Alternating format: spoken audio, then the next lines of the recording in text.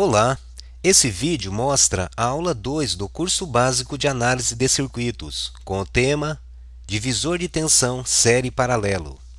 Nessa aula, veremos como calcular a tensão no divisor série paralelo, como calcular o valor de um resistor em paralelo e como analisar defeito no divisor série paralelo.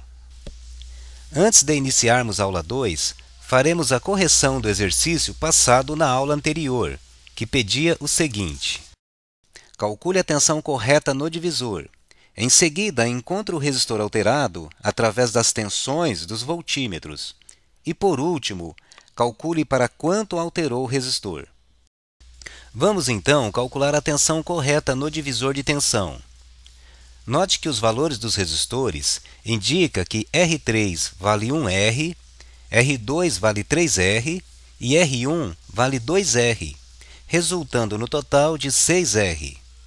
Dividindo a tensão de 18 volts da fonte entre 6R, resulta em 3 volts para cada R. Com isso, R3 fica com queda de 3 volts, R2 fica com queda de 9 volts e R1 fica com queda de 6 volts.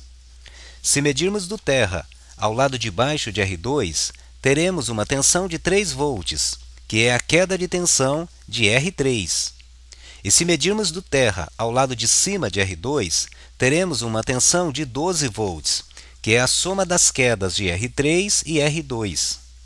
Como o divisor está com defeito, essas tensões estão alteradas, sendo que o voltímetro de cima mostra uma tensão de 8 volts e o voltímetro de baixo mostra uma tensão de 2 volts. Conforme as tensões dos voltímetros, podemos ver que a queda em R3 é de 2 volts, a queda em R2 é de 6 volts e a queda em R1 é de 10 volts. Note que as quedas em R2 e R3 estão proporcionais aos valores dos resistores, enquanto a queda de R1 é 5 vezes maior que a queda de R3. Assim, podemos concluir que R1 está alterado, e que seu valor é 5 vezes maior que o valor de R3. Portanto, R1 está alterado para 25K.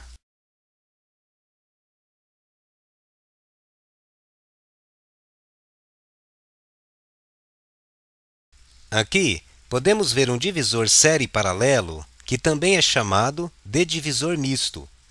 Para calcular a tensão nesse divisor, é necessário convertê-lo para divisor série.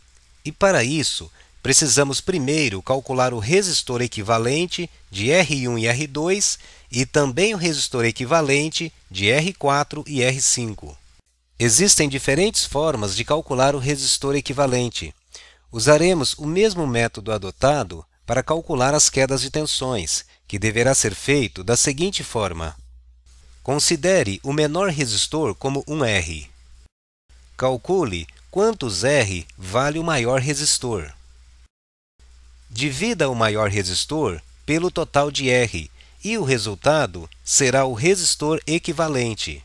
Vamos calcular primeiro o resistor equivalente de R1 e R2, onde podemos ver que R1 vale 1R e R2 vale 2R, resultando no total de 3R.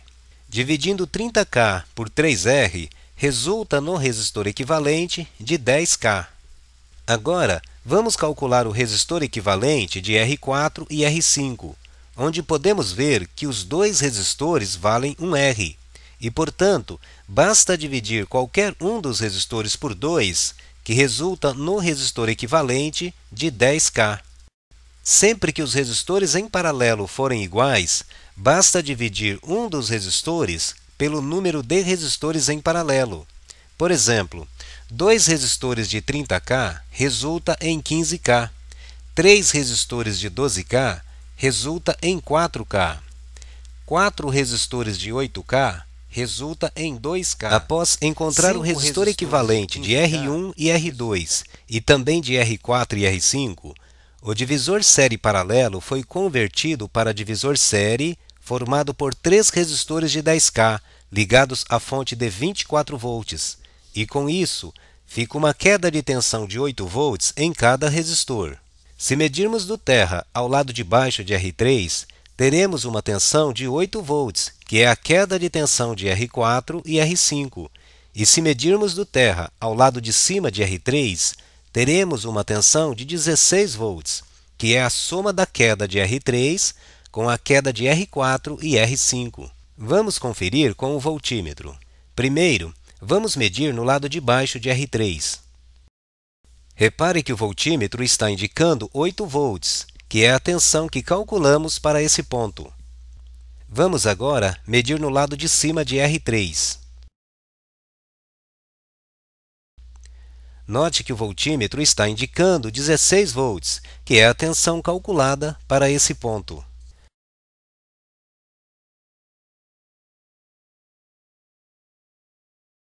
Aqui, mostramos um divisor de tensão série paralelo ligado à fonte de 9 volts, sendo que o valor de R3 é desconhecido, mas podemos calcular seu valor facilmente, como veremos a seguir. Em primeiro lugar, devemos calcular o resistor equivalente de R2 e R3 através das quedas de tensões. Como no centro do divisor deve ter uma tensão de 3 volts, podemos dizer que a queda de tensão de R2 e R3 é de 3 volts e a queda de tensão de R1 é de 6 volts. Note que a queda de tensão em R2 e R3 é duas vezes menor que a queda de tensão de R1, e assim podemos dizer que o resistor equivalente de R2 e R3 é de 6K, que é duas vezes menor que o valor de R1. Agora que já sabemos o valor do resistor equivalente, vamos calcular o valor de R3, que pode ser feito da seguinte forma. Calcule a diferença entre R2 e o resistor equivalente. Divida o valor de R2 pela diferença e multiplique o resultado pelo resistor equivalente, resultando assim no valor de R3. Vamos então calcular o valor de R3. Note que a diferença entre R2 e o resistor equivalente é 3. Dividindo 9K por 3 resulta em 3, que multiplicado por 6K resulta em 18K, que é o valor de R3. Antes de conferir o valor de R3, vamos conferir a tensão no divisor com o voltímetro. Primeiro, vamos medir a tensão da fonte. Note que o voltímetro está indicando uma tensão de 9 volts. Vamos agora medir no centro do divisor. Observe que a tensão indicada no voltímetro é de 3 volts. Agora, vamos conferir o valor de R3. Note que o valor de R3 é de 18K, exatamente o valor que calculamos para esse resistor. Vamos agora ver mais dois exemplos desse cálculo.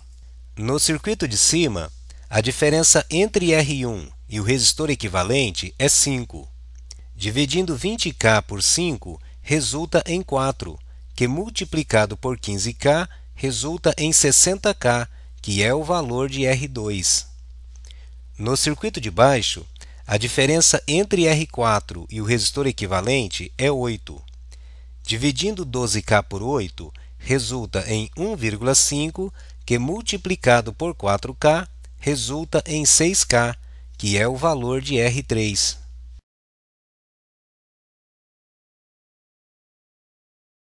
Aqui temos um divisor de tensão série paralelo para analisarmos defeito.